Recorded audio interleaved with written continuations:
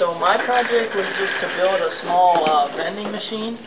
So the the main things is you just have a keypad to determine which which product you want, and uh, the LCD display tells you what to do, like enter a valid key or um, when a, when one of the products is out, which is determined by using a count variable. Uh, it'll tell you that that it's out, and you can't do that choice.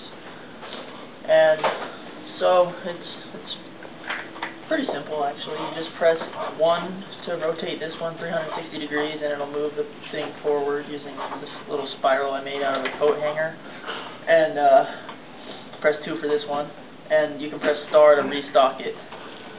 It'll say vending in progress while the candy is moving forwards, and it's right here, like Mechanical. yeah, I mean, You it. it, you just grab it, but, uh, two, two moves this one forward, and, uh, there we go, and so, I can, I can press one up four times, and then it will, um, says thank you for your purchase. But it keeps it.